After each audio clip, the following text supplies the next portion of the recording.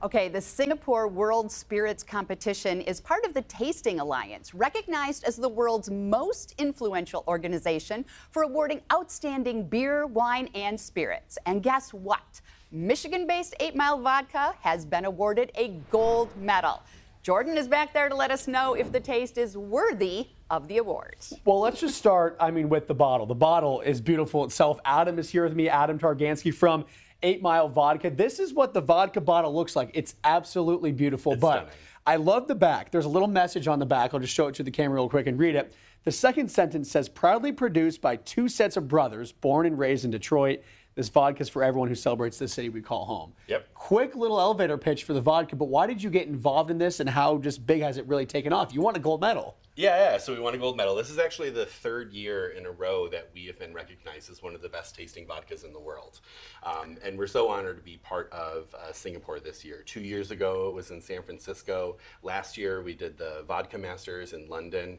And to have all these international competitions and, you know, uh, put a spotlight on Detroit, you know, it's good for everybody. It had to be so hard to get shelf space with vodka. There are so many brands. What is it about 8 Mile Vodka that's different and brings it to that top tier level? Yeah, so uh, it is uh, distilled here in Michigan. Uh, it previously was in Detroit, but to be quite honest, they can't keep up with the demand that we have. That's So- good news. Yeah, yeah, yeah. So it still stays in Michigan, but it's done in very small batches, so just 90 liters at a time, so that we really can control the quality of it. It's then uh, carbon filtered and aerated uh, and bottled, and it tastes just amazing. Okay, and that's what the gold medal was for, right? Yep. What are we going to make today? I know we have an example here today for a fall drink, so take me through it and let's get a taste test. Yeah, of course. So uh, we love everything about the city, no matter where you happen to be in it. And Parmenter Cider Mill in Northville is right on Eight Mile, so that goes right with us, right?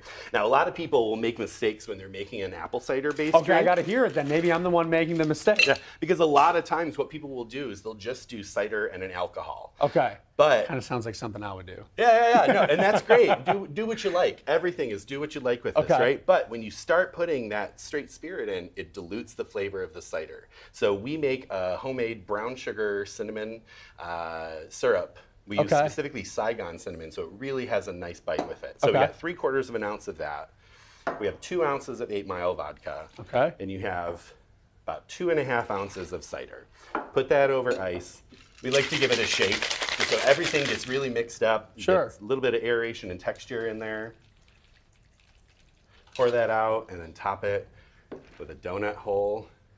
And you have a perfect I think I got to give this a taste, yeah? Please do. Okay, and what Yeah. was this called again? This is called the Parmenter, off, Okay. uh, off of the uh, the cider mill of the same name. Now we've we've done a bunch of different like shows and competitions and stuff. This is one of our most popular drinks. This is dangerous. It's great. This is it? dangerous. Yeah, it's not too sweet, but you know what?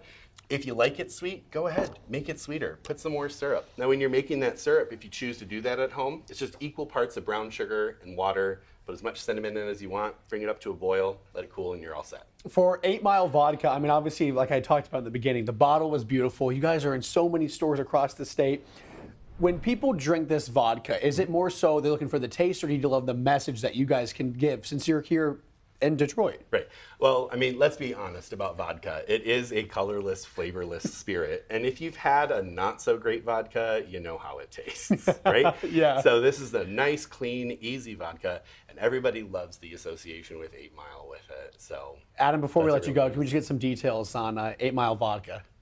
Uh, yeah, so you can get 8 Mile vodka anywhere that uh, smart people buy their alcohol.